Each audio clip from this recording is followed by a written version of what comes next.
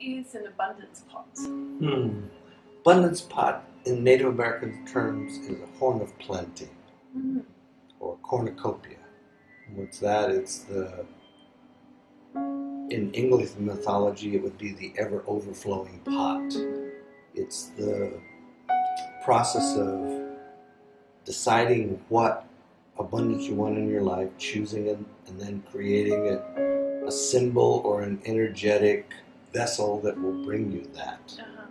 So basically, it's about creating a physical pot Mhm. that we stuff a bunch of energy into, Yeah. put a lid on it, put a fire up under it so it'll boil over Mhm. and continue bringing you what you want. And all the stuff we stuff into the pot is of your choosing. So uh, you can choose whatever wishes you want, you stick them in, and um, it brings them true. So you use an actual physical pot? A physical vessel, yes. Okay. and it works both on a psychological Mhm. level.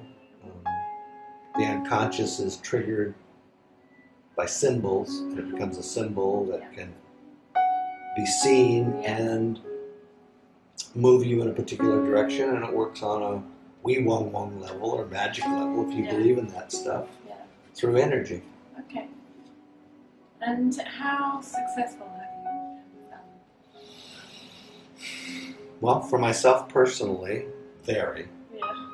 Uh, my original pot was done by the equivalent of the Dalai Lama. But it was done from the Bonpo tradition, which is the black sect of um, Tibetan Buddhism. Mhm. Um, the way I do the ceremony is a combination of Native American, Celtic, which is English shamanism, and um, Bonpo, which is Tibetan shamanism. So I've expanded on what I was taught by the abbot. Yeah. Um, and I've had a lot of people that have reported a lot of success. Yeah.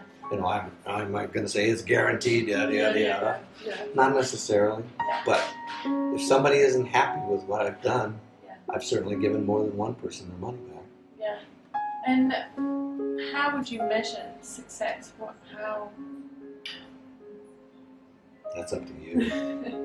you know, what's successful for me may be totally nothing to you, and what's successful for you may be